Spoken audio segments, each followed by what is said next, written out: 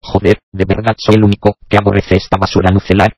La palabra es nucelar. Vaya carencias tenéis al idolatrar esta ofensa contra el arte audiovisual. A ti en serio te hacen gracias las putadas que hace este cabeza zanahoria con cara sacada de una lata de conservas de los años 50. ¿Eh? Pues a mí no. Es que me profana el sistema orgánico esta blasfemia cósmica, australopihostias. Australopiostia. Vamos, yo si estoy en un restaurante, con mi amante pechugona, y el aborto de cervido mesozoico ese le tira una albóndiga al escote a mi cita se arma el quinto impacto.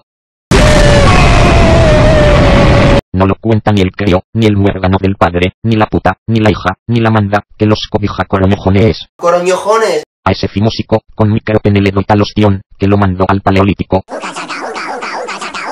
Luego lo voy a buscar en DeLorean, y lo muelo a palos, luego lo vendo en el mercado negro, para que lo violen los despojos humanos de la deep web, luego me hago rico, con las descargas de su mutilación, y, entre medias doy un curso al incompetente pusilánime. Del padre sobre cómo moler a palos a un hijo si es un cabrón sin límites, que merece la chingada silla eléctrica de la muerte mortal a puñala testiculojones.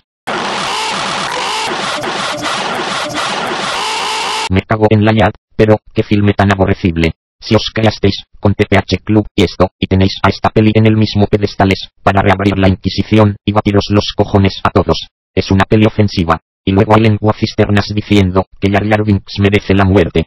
Coño de la madre, pues yo prefiero, que un cáncer gonorreico neuro ultramicroscópico celíaco o psicótico de nucleótido fulmine el organismo del puto creo.